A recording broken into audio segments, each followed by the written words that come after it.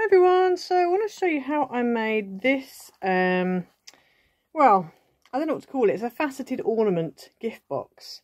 Uh, I'm going to call it a cute faceted ornament. Um, and I originally saw, uh, now I can't remember the name of the person I saw, but I will try and put it up on the screen of the lady that I saw, the YouTube video I saw. And I just thought I really like that. That's really different and that looks really cool. Um, yeah, so obviously you could use it as a gift box. You could just do it as an ornament on your tree. Um, but yeah, it's, really cool. And I've used, actually for this one, I've used the Dovecraft foiled paper pad. So this is the pad I've used. So I used the silver foiled one, but they've also obviously got the gold. I've shown you this before. So yeah, so I'm going to be using this again today, but I'm going to use the rose pink one because I just really liked this. Um, and it's quite a good weight because it is actually 250 GSM so it's a nice weight. It does mean that when you come to folding it and stuff it is quite solid. It also means you need to make sure you really do stick it together at the top and bottom because it does like to pull itself apart. And because this bottom bit here is quite difficult to actually stick the top bit is relatively easy. But when you're closing up the last final edge um, you really do need to make sure it's definitely stuck. And the lady I saw she used hot glue. So I think that might be a good idea. I don't really want to get my hot glue gun out, but yeah, we might do that, or I might just go with red tape again, like I did with this one. It seems to be holding up at the moment. Um, but yeah, I think if you obviously if you want to put stuff in it, then you might do well to put um, hot glue at the bottom. Um, obviously, then the person's going to have a right game getting into it, but that's just part of the fun of getting an ornament with things in it. So yeah, so that is the project for today. So let's get into it. So to start with, you're going to need a piece of base card that is five and a half by eleven and a half. Now I've also going to I'm going to be using that as my little tag. This is out of the Little Red Robin Vellum Sentiment Pack. But I thought that's quite cute. And then I'm also going to use this pink ribbon at the top, which is just out of my stash. I'm not sure where it's from, but any kind of ribbon or whatever you've got. Now, obviously, I appreciate that it might be quite difficult to see my score lines. However, because it's shiny, it might be also easy to see them. But I will flip it over. If it looks like I can't see the score lines, I'll flip it over and you can see them. So what you want to do is you want to score at two and three quarters, at five and a half, at eight and a quarter, and at 11. Okay, and then you also want, so if you can see that there, if you turn it round, you're going to score halfway at two and three quarter. And then if we turn it so you can see the lines there. Okay, so I've turned it over so I can see a bit better as well. So what we're going to do is we're going to score an X in the middle of every single one of these boxes. Okay, so the best way of doing this, if you get your ruler, if you go from the top, obviously ignore the tab, if you go from the top of this bit here across to here, that will score across two boxes. So you're going to do that. Um, and obviously we are scoring on the side, but that's fine because you've got a bit of a mix of mountain and valley folds. So now we're going to go, I'm going to come across the top of the other, the box next door, and I'm score down to the bottom, and it should, all your lines should go through these points here. I'm going to do the same here. And then the ones that you need to not forget about are the two little end ones. So this one here, that hasn't gone quite through because I've actually missed. Let me just see if I can. You need to definitely make sure you're being really accurate with these lines. Okay, well, that is what it is. And then we're going to score here, like that. And then I'm also going to score from here to that corner there.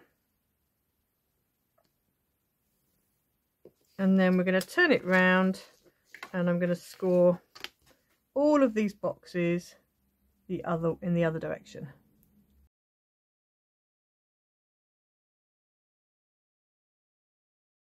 So as you can see, you've got a cross in each box. You can see that if I angle it like that, you can see all the cross lines. So then what we want to do is bring your scoreboard back in. Make sure your tab's on the left if you're scoring from the right, like I am. Um, and you're going to score at 1 and 3 eighths and you're just going to come down until you get to that center see where the, your, your two lines are here you're only coming down to that center and then what you're going to do is you're also going to do the same from here you're going to go from oh, Oh no, that's the wrong one. It's the one next door. It's this one here. There we go. So it's there. If you want, you can just flip it over and do it. I'm just being awkward and messing up my box, but don't worry about it. So one and three eighths. Then you also want four and one eighth, which is here. And again, should come to here. I'm going to just do this. You can just turn it round, which is kind of easier, but anyway. Okay. And then six and seven eighths, which is there. Again, down to there. And then the same on the bottom. Like that. And then lastly but not least, nine and five eighths, which is here. And then we're going to do the same here. Make sure it's obviously lined up. So my arm's in the way. Okay. So you should end up with that, ignoring this bit here that's a mess up. Okay, so next what we're going to do is I'm going to go ahead and fold all of my lines and I'm going to fold them all in both directions because you really want them to be like really well you know, burnished and fold. Especially if you're using this kind of weight of card, you really do want a well burnished card. So I'm just going to go ahead now, fold them all, fold them all up, burnish them, and I'll come back to you in a moment.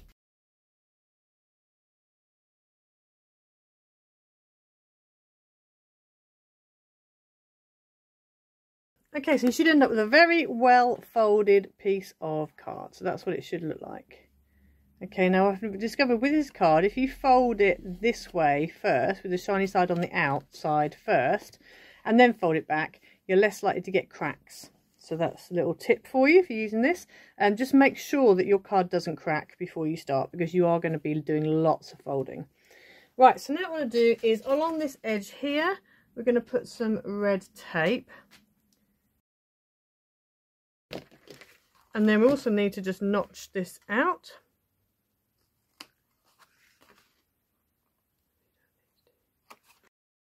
And I'm just going to make sure that my notch actually doesn't go past.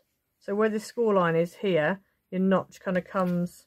So that one there is not notched enough. You need to really notch them so that you don't go past because this will then help you when you come to folding. This will help you because I had some edges that really didn't want to fold because I hadn't notched them out enough. So just make sure when you turn this over that this tab stays within these lines. If you do that, then hopefully that will help you. So now I'm going to fold along this first one here. Here's my tab at that. And then we are going to stick this together. So we're going to fold that one over there like that and stick it together. And you've got kind of like a box. And then what we're going to do, I'm just going to bring this one in because this is a little sample that I made. So what we're going to do at the top, these bits here need to fold in and need to stick together like that. And that then, when you do that, that then forces that to be a valley, these to be mountains. Okay, so you need to make sure they're mountains. And we're going to stick these together here. Now, before I do this, I think what I'm going to do is I am going to just make a little hole somewhere. Actually, no, I think I might just trap my ribbon in it. No, actually, let me just do this bit. Yeah, this is the top, so let me do this now. So I'm going to take my ribbon um, and we are going to cut a length of ribbon. It's really up to you how long you want your loop. Um, I think I'm going to go for about like that because I need to tie a knot. So I'll probably go a bit more than that actually. I need to tie a knot as well. So I'm just going to cut a bit off. So that's what I've got. This here is 12 inches of ribbon I've got there. So then I'm just going to put the two ends together like that and I'm just going to tie a knot. Now the knot doesn't actually help you that much but I just like tying a knot really if I'm honest. Okay, so like that. Now, when I did this one, I had trouble because this knot, this didn't want to stay in, and I've ended up having to put a whole load of silicone glue just in on the inside here to stick this in and I'm not sure how stable that's going to be if you put like chocolates or whatever in there I don't know how you know how well that's going to hold it I'm going to use um, red tape and I'm just going to put red tape on the diagonal edges. So where you've got a triangle like that, you just need to put it on one edge. And we're going to do that on all four sides.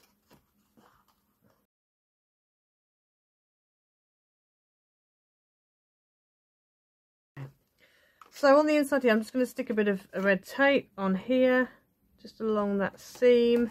This, again, may or may not work, I don't know. So I'm going to take this off. I'm going to put my thing in and just stick that down on there like that. And then I'm just going to go over it with a bit of tape. Now this is probably the best, this is low tack tape, so this is not the best thing to stick it with. But um, it's all I've got to hand at the moment, so it'll do. Just to cover up that red tape that could potentially get in the way. And then basically these just need to all pop in. So that's going to pop in there like that. That's going to pop in there like that. And the whole thing's going to go together like that. Okay, so that is what you're aiming for on the bottom. So I'm going to go ahead now and just stick these down. You will find on the last two sides that you need to do them at the same, same time. So let's just pop that in like that. Now for this bit you can actually get your hand in and press. When you come to do the base, you're not going to be able to do that. So it does get slightly more challenging. Um, I appear not to have any tape here. not sure why.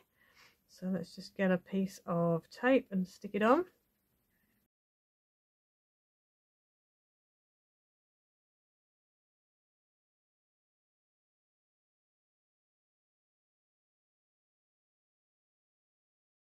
Okay, so that is the top of your box so you can kind of see where we're going. Right so now with this one we're going to do the same again. So I just need to go ahead and add tape again to all of these little triangular pieces.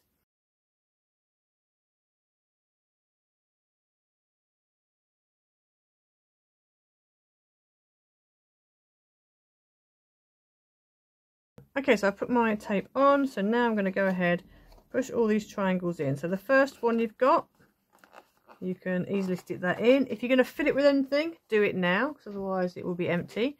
Um, and then we're going to fold this one in. So it's all those little straight lines that we did in between the, um, in like the middle of the triangles. That that's the ones you're, you're sticking down. So you're going to go ahead and stick that down. You kind of need to pinch it just so, yeah, for these two you can kind of get in there. But now you're on your own. This last one, you are completely on your own to stick this down. Um, this is why probably hot glue is a good idea, but we are going to persevere with the red tape because that's what we've started with. So that's there like that. Just going to fold that in like that, stick that down like that. You can kind of press and hope for the best. Okay, so that should be your cube ornament. So it's relatively straightforward. Now I just want to go ahead and put my little tag on. So I've got my little tag here. I'm going to punch a little hole in there, but I'm not going to make it very big. I'm just going to thread it over the top of the ribbon. Let's have a look. I think probably that will do nicely. So I'm just going to go ahead and punch that as in the middle as I possibly can. There. Now obviously with it being vellum, you need to be careful you don't tear it. Okay, so that's that. And then I'm just going to take the edge, poke that over the top like that. Very gently, just pull that down. There we go. And then I'm going to finish off by just adding a little bow on the front. So I'm going to cut out another 12 inches of ribbon. And then we're going to bring this round I don't know how well my hands are going to do this, but anyway. And we're going to make a little bow.